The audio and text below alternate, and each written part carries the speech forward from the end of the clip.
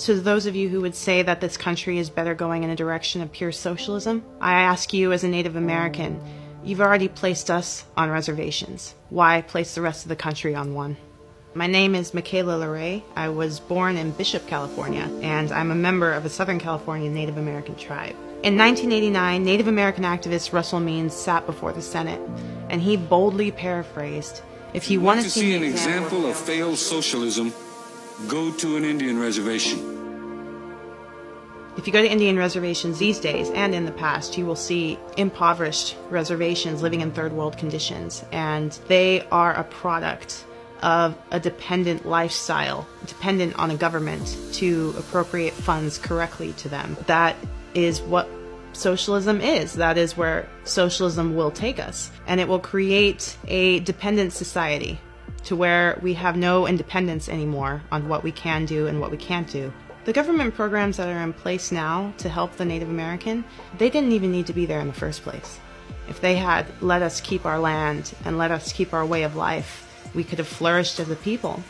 But instead, the government thought it was best to place us on reservations and strip all of our, all of our freedoms away, one by one.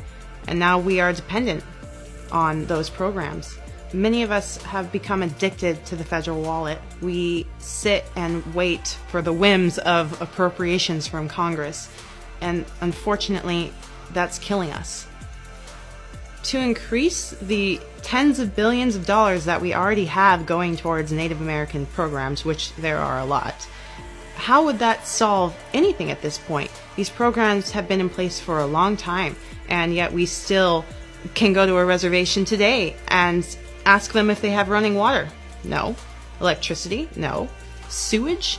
Quality health care? Quality education? All these things are missing. So, how much more money and how many more programs do we need before we find our self determination and start fixing these things on our own? Government programs, more programs. That's not the answer. The answer is independence in every way of life for us, for my people. It's something that we need to tackle to remain an asset to this country. Indianpreneurship means that we promote a lifestyle of entrepreneurship for the Indian. Examples would be in Oregon, where four tribes have banded together to create a nonprofit fund to promote business plans and knowledge on creating business. Another would be in Alaska, where they are taking advantage of the Section 8 Small Business Loan Act program, and they are providing goods and services to the federal government. Many natives fear the aspect of adopting capitalism in the modern day as they might lose their culture or their way of life. And I say to you, is there any pride in letting the government take care of us day to day? Is there any culture in that? Is that how we were before the white man came to our land? Is that how we should be now? We've been doing that for hundreds of years and it's solved absolutely nothing. So it's time for a new way of life and new traditions. To when we look to ourselves to create. We look to ourselves for funding. We look to ourselves for the basic necessities of life. So, those of you who would say that this country is better going in a direction of pure socialism, I ask you as a Native American, you've already placed us on reservations. Why place the rest of the country on one?